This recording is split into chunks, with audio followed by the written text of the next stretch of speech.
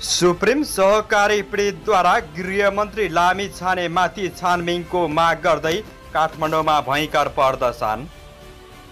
सडकमा निर्माण सामग्री छाड्नेलाई कारबाही गर्न काठमाडौँ महानगरको चेतावनी। आगो निभाउने क्रममा गुल्मीमा एकजनाको मृत्यु। परीक्षा दिएर फर्कदै गरेका विद्यार्थीको गाडीबाट खसेर ज्यान गयो। दिपेश पुनमाथि सुन पर्कडमा पनि अनुसन्धान हुने सिआइबीले पठायो रूपन्देही प्रहरीलाई पत्र। भोजपुरमा पेस्तोल देखाएर लुटपाट तिन वर्ष कैद बसिरहेका व्यक्ति पक्राउ। डढेलो निभाउने क्रममा लडेर एकजनाको मृत्यु। वायु सेवा निगमले तिर्यो एक वर्षमा पाँच अरब ऋण। सिप मेलाका लागि महानगरपालिकाले रोजगार व्यवसायी महासङ्घसँग सहकार्य गर्ने। चौथो पटक विश्वासको मत लिँदै मधेसका मुख्यमन्त्री यादव। तेइस किलो चरेसहित युवा पक्राउ। नेपाल प्रहरीका दुई डिआइजी एआइजीमा बढुवा सिफारिस।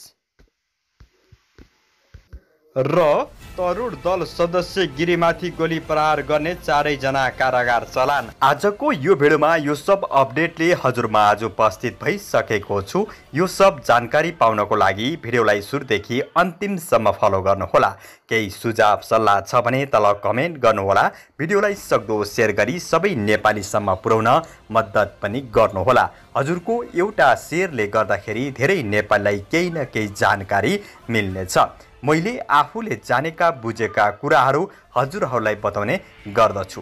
नयाँ आउनु भएको छ अझै पनि हाम्रो यो नेपाली अनलाइन युट्युब च्यानलसँग जोडिनु भएको छैन भने सब्सक्राइब र साथमा रहेको घन्टीलाई दबाई हामीसँगै जोडिनुहोला। अब ढिला नगरिकन लागौँ आजको विषय वस्तुतिर दर्शकबिन आगो निभाउने क्रममा गुल्मीमा सोमबार एकजनाको मृत्यु भएको छ। स्थानीय सल्लाहघारीमा लागेको आगो निभाउने क्रममा मुसिकोट नगरपालिका एकका अन्ठाउन्न वर्षीय महले घरतीको ज्यान गएको जिल्ला प्रहरी कार्यालय गुल्मीका प्रहरी उपरीक्षक राजन भुजेलले जानकारी दिनुभयो।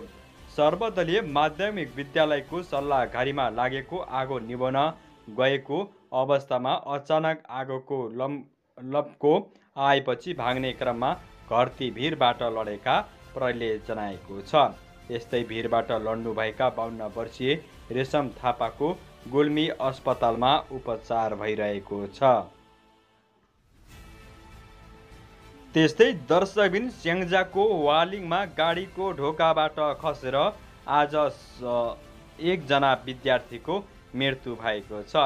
बसबाट खसेर सर्लाहीको मलङ्गुवा नगरपालिका घर भएका बिस वर्षीय अमृत शाहको ज्यान गएको जिल्ला प्रहरी कार्यालय स्याङ्जाका प्रहरी निरीक्षक पावल सिंह लामाले जानकारी दिनुभयो। वालिङ नगरपालिका तेह्रमा रहेको भूपू सैनिक माविमा सिसी सिटिइभिटी इलेक्ट्रोनिक इन्जिनियरिङ विषयको परीक्षा दिएर फर्कँदै गर्दा शाह लु एक अडसट्ठी सन्तानब्बे नम्बरको गाडीबाट खसेका प्रहरीको भनाइ छ।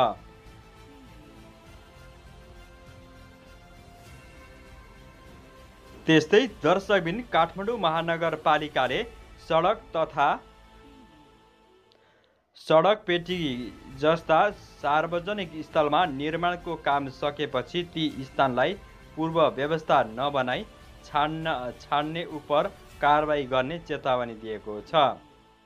निर्माणको काम सकेपछि पूर्ववत अवस्थामा नभई छाड्ने निर्माण सामग्री छाड्न छाड्नाले आवागमन सहकारी शोधन शोधनता र विकास व्यवस्थामा समस्या भएपछि महानगरले कारवाहीको कठोर निर्णय लिएको महानगरका उपप्रमुख सुनिता डङ्गोले जानकारी दिनुभयो।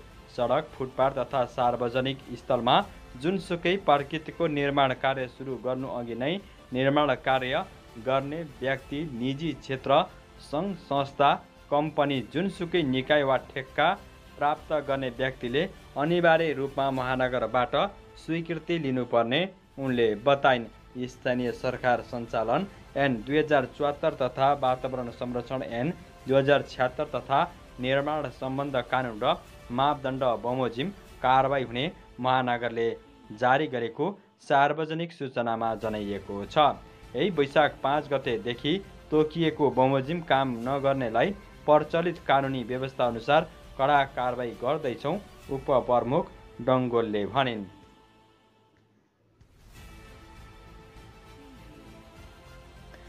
त्यस्तै दर्शबिन रूपन्देहीको बुटोल स्थित सुप्रिम बचत तथा ऋण सहकारी संस्थाका पीडितले रकम अपचलनमा संलग्न गृहमन्त्री रवि लामिछाने माथि छानबिनमा गर्दै मङ्गलबार बुटोलमा प्रदर्शन गरेका छन्।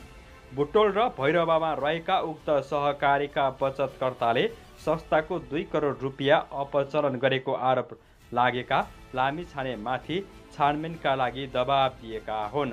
सुप्रिम सहकारी पीडित सङ्घर्ष समितिले आयोजना गरेको प्रदर्शनमा सहभागी पीडितले सहकारीको रकम हिनाबिनामा संलग्न संस्थाका पूर्व अध्यक्ष जीवी राईलाई पक्राउ गरेर कारवाही गर्न माग गरेका हुन्।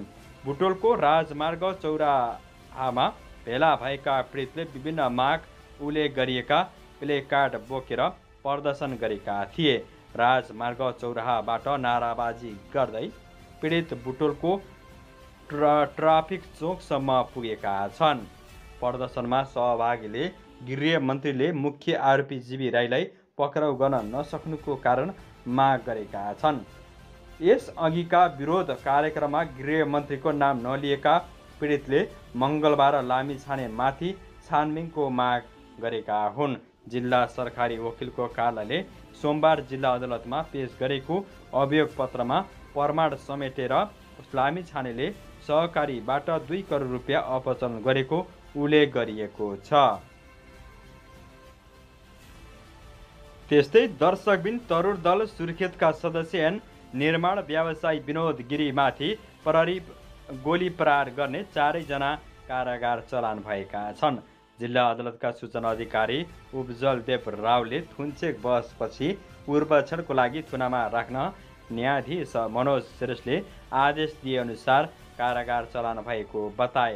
कारागार चलान हुनेमा भारतको उत्तर प्रदेशको बिजनौर दान दानगरका मुख्य सुटर उन्नाइस वर्षीय रोहित राजपुत कोइलालीको गौरी गङ्गा नगरपालिका दुईका अठार वर्षीय इन्द्र विक अठार वर्षीय भरत भुल र सुर्खेतको वीरेन्द्रनगर चारका सडतिस वर्षीय राजन गिरी रहेका छन्। फागुन बाह्र गते साँझ वीरेन्द्रनगर तिन स्थित गौरी गाउँमा विनोद गिरी चढेको बागमती प्रदेश जिरो एक जिरो उन्तिस छ बहत्तर चौसठी नम्बरको कारमा गोली हानिएको थियो। भे पाँच प साठी एकसठी नम्बरको मोटरसाइकलमा आएका केही व्यक्तिले गोली हानेका थिए। गिरीले भने प्रहरीले राम्रोसँग अनुसन्धान नगर्दा गोली काण्डको मुख्य नाइके खुले आम घुमिरहेको बताए। प्रहरीले मुख्य योजनाकार पक्राउ गर्न आलटाल गरेको छ। प्रहरीलाई थाहा सबै थाहा छ तर पनि किन पक्राउ गर्न सकेन यो रहस्यमय छ गिरीले भने। भोलि यस्तै अर्को घटना भए को जवाबदेही हुने भन्दै आक्रोश पोखेका छन्।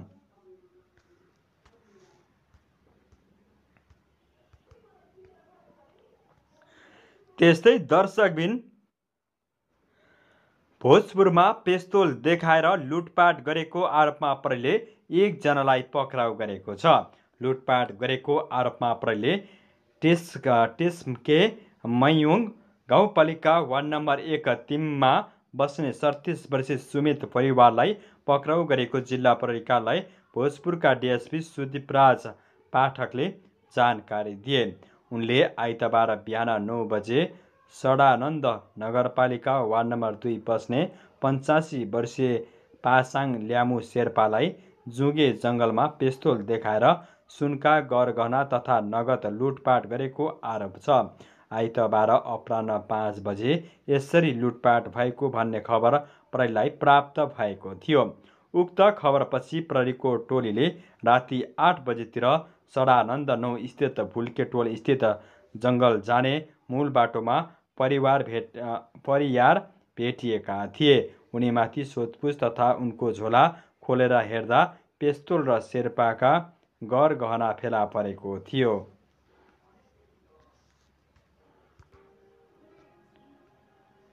त्यस्तै दर्शकबिन नेपाल प्रहरीका दुईजना डिआइजीलाई एआइजीमा बढुवा गर्न सिफारिस गरिएको छ। गैराती प्रकाशित बढुवा सूची अनुसार बढुवा सिफारिस हुनेमा उमेश राज जोशी र भीम प्रसाद ढकाल रहेका छन्। प्रहरी अतिरिक्त महानिरीक्षक दय मिरा चौधरी र सन्दीप भण्डारी यसै साता अवकाशमा जाँदैछन्। भण्डारी आजबाट र चौधरी वैशाख छबाट अवकाशमा जान लागेका हुन्। सो रिक्त पदमा दुईजनालाई बढुवा सिफारिस गरिएको प्रहरी प्रधान कार्यालयले जानकारी दिएको छ। त्यस्तै दर्शकबिन मध्य प्रदेशका मुख्यमन्त्री सरोज कुमार यादवले आज पट आज पटक विश्वासको मत लिँदैछन्। प्रदेश सभाको दिउँसो एक बजे बस्ने बैठकमा मुख्यमन्त्री यादवले विश्वासको मतका लागि प्रस्ताव पेश गर्ने कार्यसूची रहेको संसद सचिवालयले जनाएको छ। गत वर्ष भएको आम निर्वाचनपछि जनता समाजवादी पार्टीबाट मुख्यमन्त्री बनेका यादव नै निरन्तर मुख्यमन्त्री छन् तर केन्द्रीय गठबन्धनमा हुने फेरबदलले यादवलाई पटक पटक विश्वासको मत लिनुपर्ने परिस्थिति बनेको हो। पछिल्लो पटक गत फागुन एक्काइस गते सङ्घमा गठबन्धन फेरबदल भएपछि चैत पाँच गते काङ्ग्रेस मधेसको सरकारबाट बाहिरिएको थियो। त्यसपछि नेकपा एमाले सरकारमा सहभागी भएको थियो। चैत नौ गते काङ्ग्रेसले सरकारलाई दिएको समर्थन फिर्ता लिएपछि तिस दिनभित्र विश्वासको मत लिनुपर्ने संवैधानिक प्रावधान बमोजिम यादवले मङ्गलबार विश्वासको मत लिन लागेका हुन्। एक सय सात सदस्यीय मध्य प्रदेश सभामा सबैभन्दा ठुलो दल एमालेका पच्चिस काङ्ग्रेसका बाइस जसपाका उन्नाइस र जनमतका तेह्र सांसद छन्। त्यस्तै लोसपाका नौ माओवादी केन्द्रका नौ एकीकृत समाजवादीका सात नेपाल सङ्घीय समाजवादी नागरिक उन्मुक्ति र राष्ट्रिय प्रजातन्त्र पार्टीका एक एक सांसद रहेका छन्।